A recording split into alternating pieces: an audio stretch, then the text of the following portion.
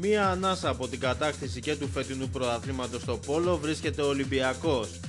Τα παιδιά του Βαγγέλη Πάντερου νίκησαν με 12-9 τον Εθνικό στο δεύτερο τελικό και πλέον με νίκη την Τετάρτη θα στεφθούν πρωταθλητές Ελλάδος.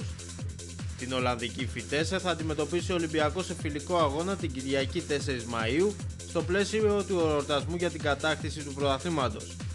Τα εισιτήρια του παιχνιδιού ήδη έχουν τεθεί στη διάθεση των φιλάθλων. Εν ώψη της προετοιμασίας για το τελικό του κυπέλου με τον Άρη, ο Ολυμπιακός θα αντιμετωπίσει το Λεβαδιακό την Τετάρτη 7 Μαου. Την ΑΕΚ θα αντιμετωπίσει η ομάδα μπάσκετ του Ολυμπιακού για την πρώτη φάση των play-off στην Α1. Το πρώτο παιχνίδι θα γίνει το Σάββατο 3 Μαΐου στο στάδιο Ειρήνης και Φιλίας.